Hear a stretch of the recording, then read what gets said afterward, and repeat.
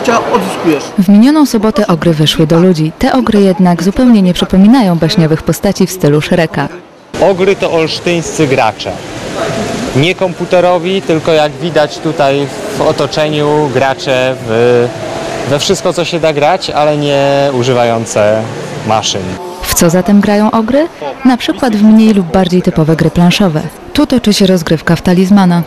Czy jest to typowa gra fantazy, gdzie musimy e, zdobyć koronę władzy, która jest głównym artefaktem i skarbem w tej grze, po drodze walcząc z potworami takimi jak smoki, gobliny, złe orki i tak dalej. To jest e, typowa from zero to hero, czyli od zera do bohatera. Goblin tracisz turę, otrzymujesz dwie sztuki złota lub trzy sztuki złota. Zasady tej gry są na tyle proste, że może w nią zagrać każdy, kto tylko ma ochotę przenieść się w baśniowy świat.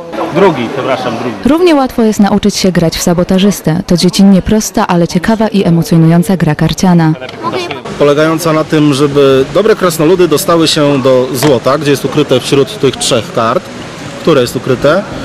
Yy, Są też postacie takie jak właśnie sabotażysta tytułowy, czyli postać, która nie chce dopuścić, żeby ktoś wygrał, któryś z tych dobrych krasnoludów, żeby złoto zgarnąć dla siebie.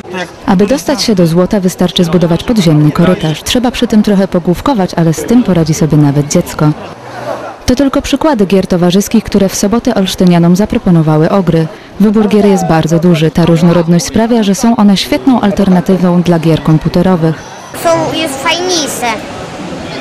I a y, gra komputerowa to, y, to jest, nie jest taka, że sobie że można sobie wybrać, ale y, nie jest taka, że są takie fajne, już lepsze y, są y, takie, Takie, czyli te, w które można pograć przy stoliku z żywymi graczami, a nie z maszyną.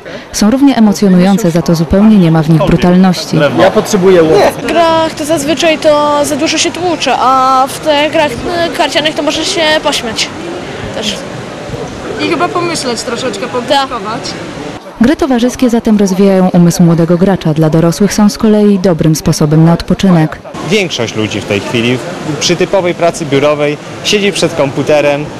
Przesiadka z komputera przed telewizor wieczorem, żeby odpocząć, niekoniecznie jest dobrym rozwiązaniem.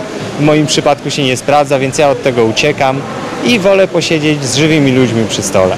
Okazja do takich stolikowych rozgrywek jest co tydzień. Ogry spotykają się w każdą środę w tawernie Tortuga. Z tygodnia na tydzień jest ich więcej. Obecnie jest to grono około 30 osób.